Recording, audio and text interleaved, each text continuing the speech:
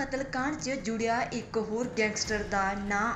ਇਸ ਗੈਂਗਸਟਰ ਦਾ ਲਾਰੈਂਸ ਦੇ ਨਾਲ ਕੀ ਹੈ ਤਾਲੁਕ? ਕਿੱਥੋਂ ਦਾ ਰਹਿਣ ਵਾਲਾ ਹੈ ਇਹ ਗੈਂਗਸਟਰ? ਇਸ ਗੈਂਗਸਟਰ ਦੇ ਘਰੋਂ ਐਨਆਈਏ ਨੂੰ ਮਿਲੇ ਨੇ ਸਬੂਤ। ਆਖਰਕਾਰ ਕੌਣ ਹੈ ਇਹ ਗੈਂਗਸਟਰ?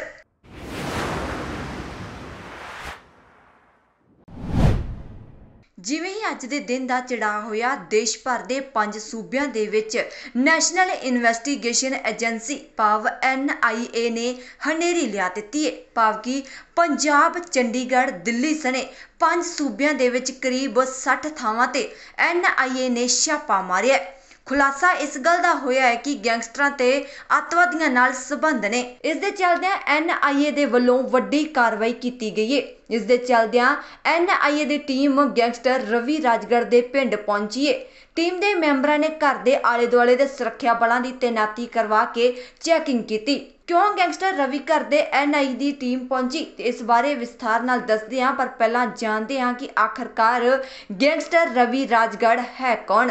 ਮੂਸੇਵਾਲਾ ਕਤਲकांड ਦੇ ਵਿੱਚ ਰਵੀ ਰਾਜਗੜ੍ਹ ਦਾ ਕਿਉਂ ਜੁੜਿਆ ਹੈ ਨਾਮ? ਦਰਅਸਲ ਗੈਂਗਸਟਰ ਰਵੀ ਰਾਜਗੜ੍ਹ ਪਿਛਲੇ 2 ਮਹੀਨਿਆਂ ਤੋਂ ਪੁਲਿਸ ਦੀ ਰਡਾਰ ਤੇ ਹੈ, ਪਰ ਉਹ ਅੰਡਰਗਰਾਉਂਡ ਹੋਣ ਕਾਰਨ ਫੜਿਆ ਨਹੀਂ ਜਾ ਰਿਹਾ। ਦੱਸਿਆ ਜਾ ਰਿਹਾ ਕਿ ਸਵੇਰੇ 6 ਵਜੇ ਤੋਂ ਪੂਰੇ ਪੰਜਾਬ ਦੇ ਵਿੱਚ ਐਨਆਈਏ ਦੀ ਟੀਮ ਦੀ ਛਾਪੇਮਾਰੀ ਜਾਰੀ ਹੈ ਟੀਮ ਨੂੰ ਰਵੀ ਰਾਜਗੜ੍ਹ ਦੇ ਘਰੋਂ ਕੁਝ ਦਸਤਾਵੇਜ਼ ਮਿਲੇ ਨੇ, ਜਿਸ ਤੋਂ ਬਾਅਦ ਟੀਮਾਂ ਬਹਾਦਰਕੇ ਰੋਡ ਦੇ ਵੱਲ ਰਵਾਨਾ ਹੋ ਗਈਆਂ। ਦੱਸਿਆ ਜਾ ਰਿਹਾ ਕਿ ਮੂਸੇਵਾਲਾ ਕਾਂਡ ਦੇ ਲੁਧਿਆਣਾ ਜ਼ਿਲ੍ਹੇ ਦੇ ਪਿੰਡ ਰਾਜਗੜ੍ਹ ਦੇ ਰਹਿਣ ਵਾਲੇ ਰਵੀ ਨਾਲ ਵੀ ਡੂੰਘੇ ਸਬੰਧ ਨੇ।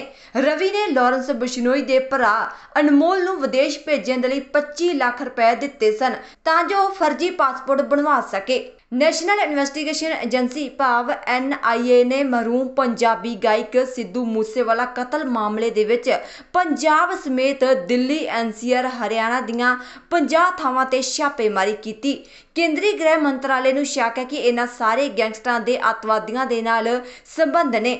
ਉਹਨਾਂ ਨੂੰ ਹਥਿਆਰ ਸਰਹੱਦੋਂ ਪਾਰ ਪਾਕਿਸਤਾਨ ਤੋਂ ਮੁਹੱਈਆ ਕਰਵਾਏ ਜਾ ਰਹੇ ਨੇ। ਮੂਸੇਵਾਲਾ ਦੇ ਕਤਲ ਦੇ ਵਿੱਚ ਪਾਕਿਸਤਾਨ ਤੋਂ ਹਥਿਆਰਾਂ ਦਾ ਵੀ ਸ਼ੱਕ ਹੈ। ਇਸ ਤੋਂ ਇਲਾਵਾ ਇਹ ਵੀ ਸ਼ੱਕ ਹੈ ਕਿ ਅੱਤਵਾਦੀਆਂ ਦੇ ਇਸ਼ਾਰੇ ਤੇ ਉਹ ਦੇਸ਼ ਦਾ ਮਾਹੌਲ ਖਰਾਬ ਕਰ ਸਕਦੇ ਨੇ ਤੇ ਭਾਰਤ ਦੇ ਵਿੱਚ ਟਾਰਗੇਟ ਕਿਲਿੰਗ ਨੂੰ ਅੰਜਾਮ ਦੇ ਸਕਦੇ ਨੇ। Bureau report scroll Punjab.